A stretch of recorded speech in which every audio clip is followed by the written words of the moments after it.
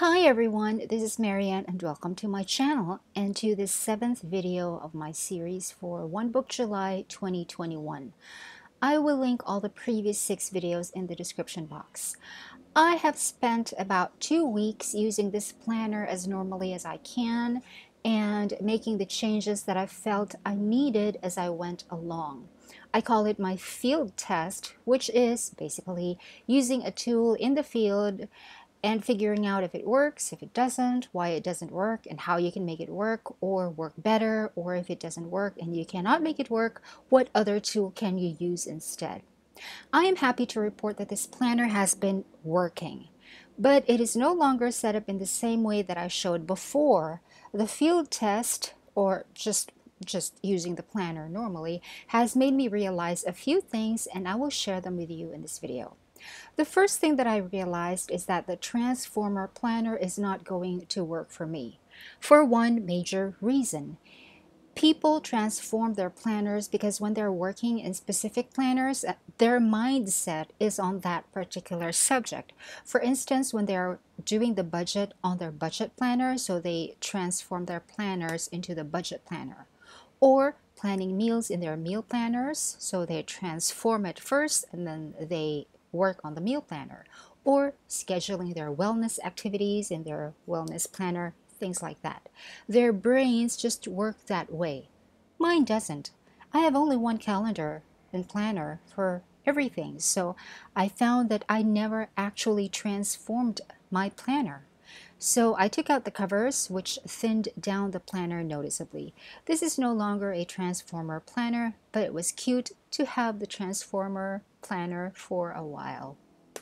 And so I have also changed up the setup of the sections inside this planner and I believe this is pretty much it for now. It's actually already August 1 when I am preparing this video for editing and it will be August 2 when I uploaded because I waited until the very end of July to see if I would still make any changes to the setup but I haven't. So this is it. I can now show you the final setup of this planner. First of all, I made a new cover for it. Remember that clear, rigid, transparent cover that I unboxed together with the first set of discs that I got? That is a clear, rigid plastic cover for the A5 disc bound, already hole punched, and I just used my box cutter to trim it down to be a better size match to my A5 Slim. As you can see here, it is now narrow.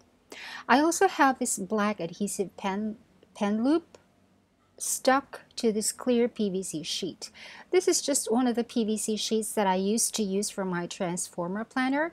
It is now a pen holder a pencil holder actually because this is the Tombow Monograph Zero Mechanical Pencil which I first showed in my part 6 of this One Book July series. I will have a more in-depth review of this pencil on my channel sometime in August. And I also have another PVC sheet here, and this is the same page made of tracing paper that has the image of a plant on it, the same one that I have showed before. And by the way, the black pen loop is one that I, it's kind of old. I've had it for many, many months. And if you stick it on plastic, it is removable. But if you stick it on paper or cardstock, it, it, it sticks there. You can't remove it anymore. The first divider I have on here is for notes and lists. Currently, I just have a bunch of blank paper sheets on here. These narrow sheets are leftovers from when I cut down my A5 Slim pages from larger paper. I have a lot of these saved up and I use these for lists. I also have these smaller paper uh, squares from an old pad that I have. I thought I might as well use them all up. These graph sheets here are from my personal sized ring bound planner that I used to be on. And right here, I showed an unboxing of this in a video, which I will link down below.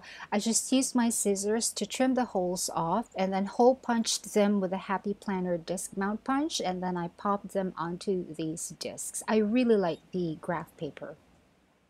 The next divider that I have is for my notebook orders, just a list of orders that I have pending. The master list of all orders and their serial numbers and specifications are in a file on my computer. The next divider just has a list that tracks my incoming orders from online sellers, just so I'm sure everything gets delivered. The next divider is for random ideas and thoughts. This is actually, well, it's a brain dump, but I don't like the word brain dump. And by the way, these dividers are the exact same dividers you have seen me make before. I did not make any new ones. I did not redo any of these. I just shuffled them around into a different sequence. The next section that I have has my ideas for podcast episodes on my YouTube channel. I currently have three podcasts already up and I will upload a few more and another uh, section for YouTube ideas, videos in the works, things like that. Next, I have the master to-do list, which I call the running to-do list. Let me just add another thing that I have learned is that if your dividers have no artwork on them that have a visual anchor, meaning there's no distinction between the top and the bottom, you can take out a divider and flip it for the purpose of changing the position of the tab like so. You can flip a divider so that the tab will show up higher up instead of lower down or vice versa. My dividers are just plain white, so I can flip these without a problem. In this next section, I have the side reminder tabs and a bunch of sticky notes. You have seen my side reminder tabs in the previous videos. They're still the same right here as you can see. I can also make my own sticky notes if I want to because I have this Kuretake two-way glue. I super love this. It's liquid glue inside a pen that goes on blue when wet and the wet glue bonds permanently. But if you wait for the glue to dry to a clear, then the bond is temporary and you can make a removable sticky note using whatever paper you want. This is very affordable from Shopee and you can use the coins and get a free shipping voucher and I will share a link in the description box. The next section has the months, which I have also shown in part 6 of this video series.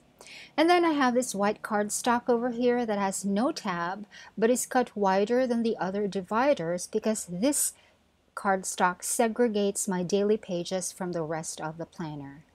The daily pages is where I do most of my planning, like I explained in the previous video, and there are side reminder tabs on here sticking out, and I didn't want them to interfere visually from the tabs on the other dividers, so I just put in this wider cardstock on the front of the daily pages and at the back of the daily pages. The daily pages are sandwiched between two sheets of cardstock that are cut wider than the regular dividers.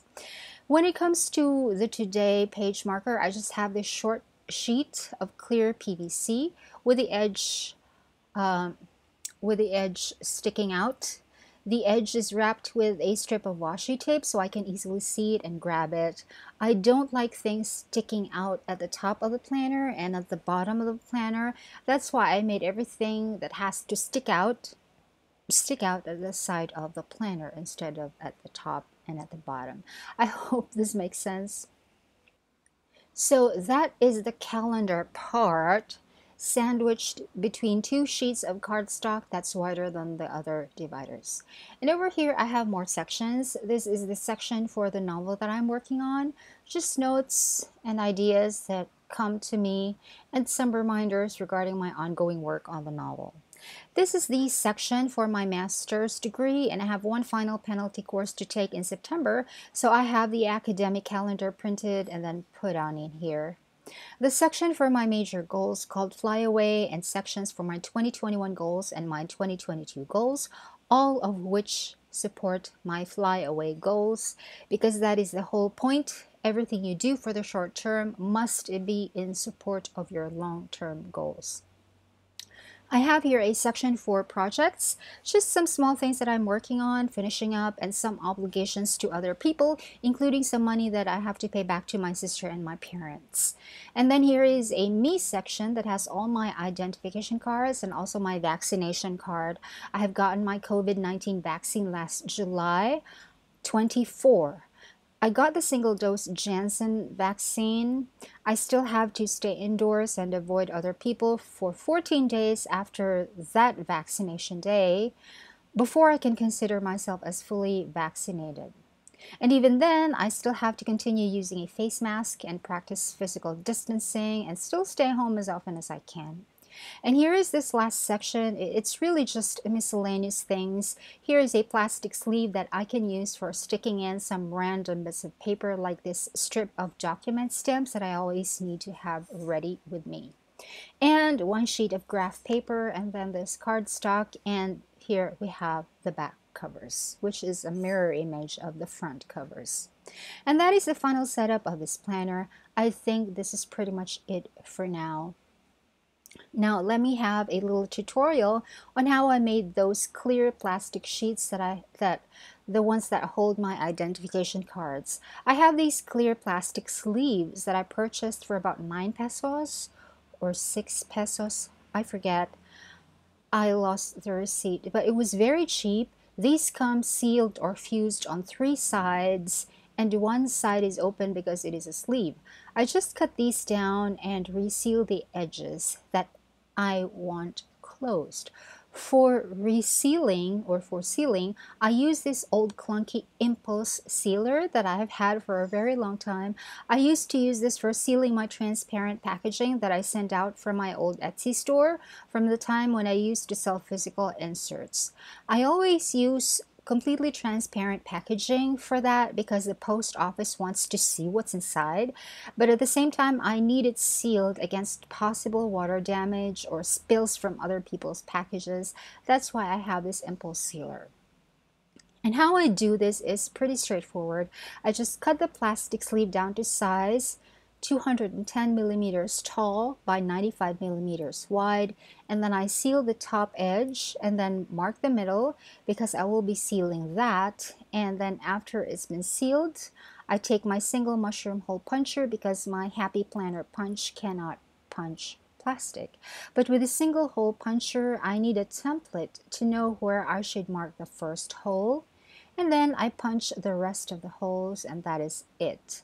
The side with the holes are open and that's where I slip the cards in and out. It's a very easy way to add a few cards to your disc-bound planner. I felt I had to make this myself because no manufacturer makes card holders for the A5 Slim. The A5 Slim is a weird size and I also cannot put in cards horizontally here because the 95 millimeters width of the A5 Slim is too narrow for cards because the mushroom holes are further in compared with the regular planner round holes that aren't too far into the insert. My friend Tracy Lamons has offered to make me some card holders using her Fuse tool, which is a much more convenient tool for sealing plastic in my opinion. But she lives abroad and the post office, our post office, has been losing parcels all over. So I told Tracy, let me let, let me put this project on hold for now because I'm still waiting on a parcel from another friend in the UK that has not yet been delivered for three months. So maybe if Tracy sends me something, it will get lost. It will be a total waste, and I did not want that to happen. So we'll see. One last thing that I was able to, to, decide on in July is how to print my daily pages that have the dates already printed on them. I used to use Adobe InDesign, but the trial for that has ended. But I was able to make the exact same layout on the Pages app on my Mac laptop. And as you can see, the dates are already on here and I like the font as well. I'm glad that I no longer have to use the clear stamps that I showed in a previous video. I I don't like I don't like doing that. I'm not a stamp person. I also found a much cheaper paper but with the same quality. This is the brand called Hard Copy. The paper I previously I previously used is under the brand Paper One, and one ream of that costs over 400 Philippine pesos, and I have to buy that online because it's out of stock in stores here where I am. But this hard copy one costs only 265 pesos per ream and it's available here. I find no difference between the two in terms of color, stiffness, thickness, and performance with my pencil. They are the same as far as I am concerned, so I'm going with this cheaper one. And here I have already printed out the daily pages for the week of August 30 to September 5. That's just one week just to try it out. See, the dates are already printed right on the pages, and even the birthdays and anniversaries of my friends and family are also printed already. It's much more convenient for me to do things this way. This has been my process for making my planner pages for a very long time. I have videos of that on my channel and I will link some of them below. But I am glad I can now return to that process of making my planner pages that has worked so well for me as well as to that old planning process that has also worked so well for me. So things are hopefully, although slowly, getting back to normal. It is more slower in the Philippines compared to the progress of other countries. As of now, only about 2 to 3% of our entire population are fully vaccinated. I am one of them. My parents are also fully vaccinated by now. They are senior citizens. Vaccination in our country is being done in priority levels.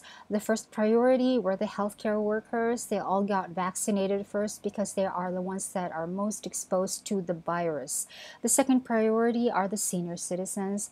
The third priority are those with comorbidities, and that's where I belong. That's why I got vaccinated this early.